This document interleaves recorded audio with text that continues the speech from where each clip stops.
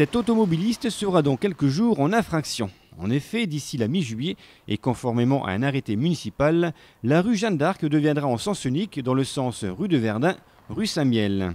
Une mesure prise pour essayer d'améliorer la circulation et surtout le stationnement de la rue Jeanne d'Arc.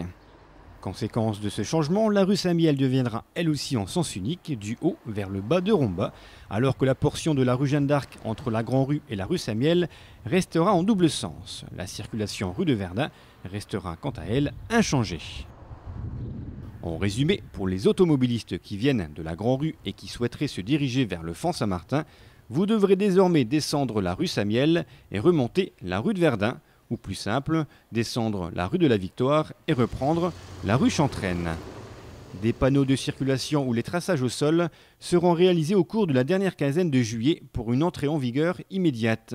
Ce dispositif sera mis en place pendant 6 ou 7 mois afin de le tester et de le reconduire ou non en décembre 2008 ou janvier 2009.